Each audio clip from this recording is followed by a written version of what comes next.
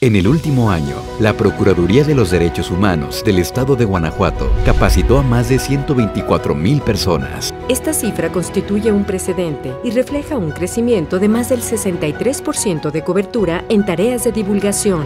Tuvimos el apoyo por parte de la Procuraduría de Derechos Humanos en realizarse un diplomado porque era importante que sensibilizáramos a nuestro personal por el contacto que tienen con todos los, los pacientes. Así nosotros podemos brindar mejor calidad y calidad a nuestros pacientes. A nosotros nos ha beneficiado ese programa que implementaron aquí porque los alumnos quedaron bien motivados y aparte resuelven sus problemas ya más pacíficamente. La Procuraduría de los Derechos Humanos como profesional me dio la oportunidad de hacer un trabajo más responsable, con mayor compromiso y con mayor humanidad.